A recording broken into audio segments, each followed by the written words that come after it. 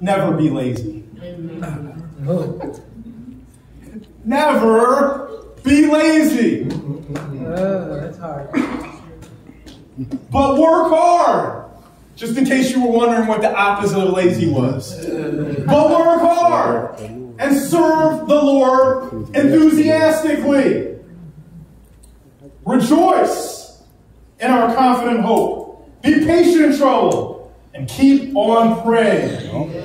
When God's people are in need, be ready to help them. Always be eager to practice hospitality.